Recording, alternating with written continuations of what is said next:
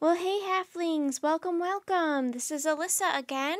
We are starting, um, actually, it's a Magic Treehouse book, but it is book number one in the Merlin Mission series. Um, and this one is called Christmas in Camelot. So let's dive right in. Chapter 1 A Royal Invitation. Sunlight had faded from the late afternoon sky. Puffy snow clouds were moving in. Let's hurry, I'm cold, said Jack. He and Annie were walking home from school.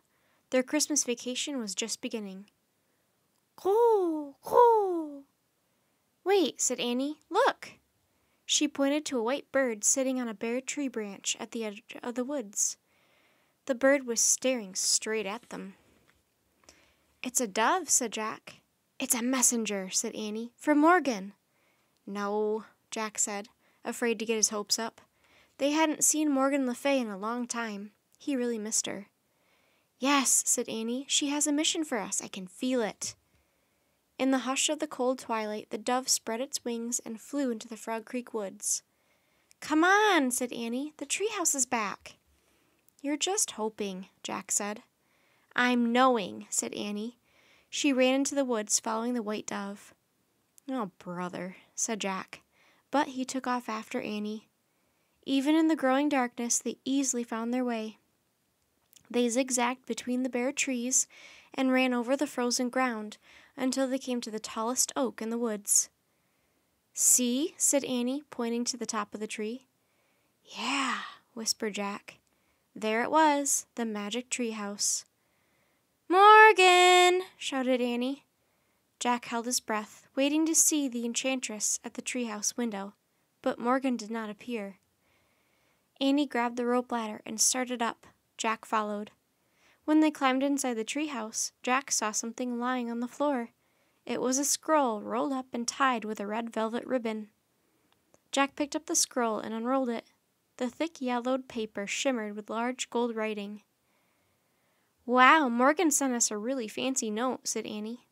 It's an invitation, said Jack. Listen. Dear Jack and Annie, please accept this royal invitation to spend Christmas in the kingdom of Camelot. M.